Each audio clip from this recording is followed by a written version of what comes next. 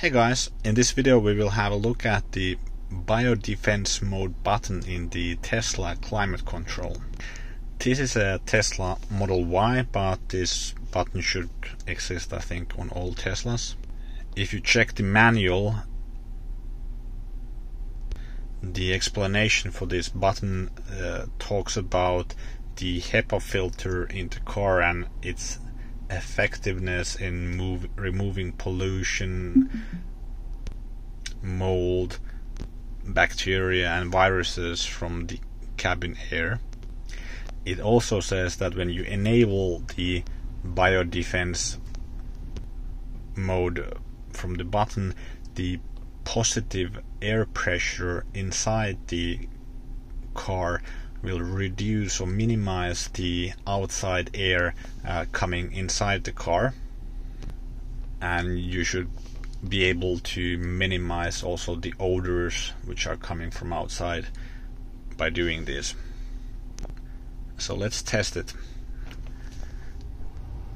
So when we enable this mode it seems that it's turning the air conditioning on high and it's activating the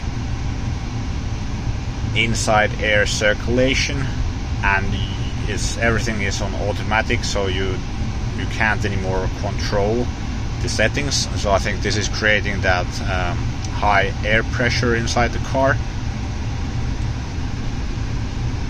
But in practice I don't think it does much else than than this button which just turns the air conditioning uh, to circulate the inside air, and in addition, it turns the fans on high, so you just don't have the manual controls for when you do this.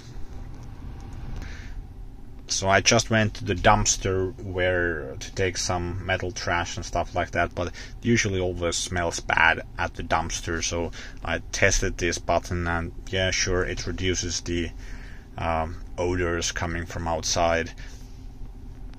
So I guess it kind of works, but it's also a bit annoying having the fans on high. It's a lot of noise. But let me know down below in the comments what do you think about this feature and in what situations have you found it useful.